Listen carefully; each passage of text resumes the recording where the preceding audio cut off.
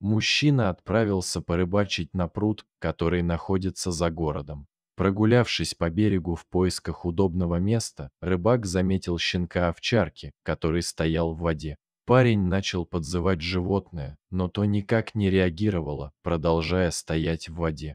Недалеко от пруда была небольшая деревня, но в целом место было безлюдным и хозяина животного нигде рядом не было. Пара человек, появившихся на берегу пруда, посоветовали мужчине не обращать внимания на собаку и просто найти другое место, чтобы забросить удочку. Поняв, что рассчитывать на помощь не приходится, парень сам достал щенка из воды и повез в ближайшую ветеринарную клинику.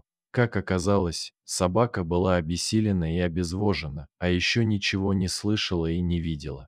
Возможно, в пруд малыш залез, чтобы утолить жажду, а выбраться на берег самостоятельно у него не получилось. Внешне щенок похож на овчарку, вот только слишком худой и маленький для представителя этой породы. По словам ветеринара, малышу около 7 месяцев, но по размерам он едва дотягивает до трехмесячного щенка. Врач предположил, что собака больна давно, поэтому отставание в развитии настолько сильное. Скорее всего, поняв, что щенок болеет, хозяин не стал тратить время и деньги на лечение, а просто выбросил его у пруда. Малышу дали имя Гарри и оставили в стационаре клиники на неделю. За это время его подлечили и полностью обследовали. Первое время у Гарри не хватало сил даже на то, чтобы подняться на ноги, при этом он пытался разгрызть все подстилки и миски с водой и кормом. Врачи пришли к решению ничего не оставлять в его клетке.